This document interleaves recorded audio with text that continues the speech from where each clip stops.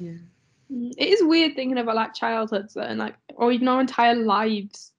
Actually, yeah, our entire lives so far.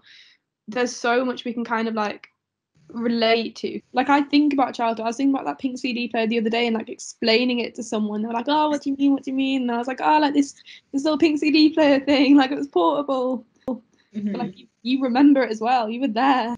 Like we spent so so many hundreds and thousands of hours together, especially in first school when we were in all of the same classes, like Mhm. literally all day, all break times, all lunch times. we would do that thing on the yard where we'd kind of hold hands in the middle and run in a circle.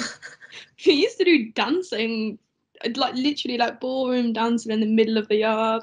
We used to literally run away from our parents and glue our hands together because we wanted to have a sleepover and just stay literally physically attached. when we were much younger, I think people kind of, because we were such close friends and had known each other since we were so young, Mhm. I think people found it strange how close we were.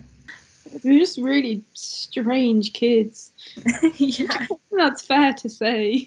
And I think maybe it was the comments that other people made that kind of made us think, oh, maybe this isn't how we're supposed to act. yeah, that's true. I think it was the start of high school age, Mhm. maybe towards the end of middle school, when we'd be like walking down the hill together or something and would intentionally like step away from each other a bit. I forgot I even did that. Yeah. what a time.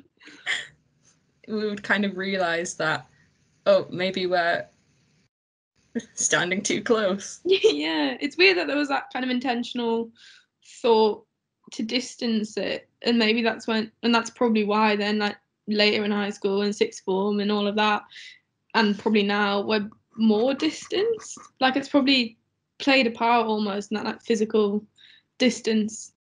Yeah, like we kind of did it intentionally at first and then just kind of got used to that being how it was. Yeah, like I forgot that was even a thing. I forgot we even Yeah.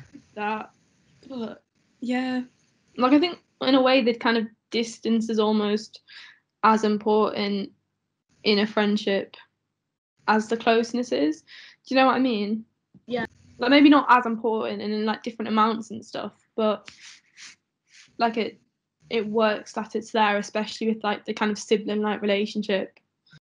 Like we don't need to be constantly seeing each other. We don't need to have the same friends. hmm And it's kind of you know it's always going to be there to like fall back on.